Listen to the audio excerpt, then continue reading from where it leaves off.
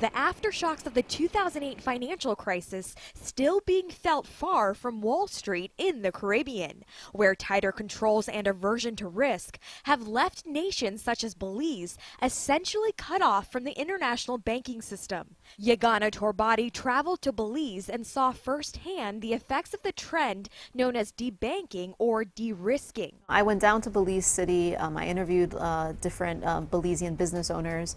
And Belize is really ground zero for this trend. Um, only two Belize banks maintain any relationships with U.S. banks. The businesses that I spoke to, you know, it used to take them moments to clear transactions and to, to pay their suppliers um, in the U.S. or abroad, and now they really have to set aside weeks. U.S. banks like Bank of America, Citibank, and Wells Fargo have been pulling out of the Caribbean altogether. There's been a greater focus among regulators, among U.S. banks and European banks on getting rid of any business that is seen as even slightly risky.